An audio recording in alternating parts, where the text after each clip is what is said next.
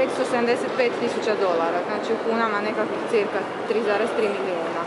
A ovo poslije, mi, mi, smo skromni uvijek bili pa ćemo i ostati, ma puno se ljudi ponudilo za smještaj koji nas već u Americi čekaju, tako da mislim da oko toga neće biti velikih problema. Da li će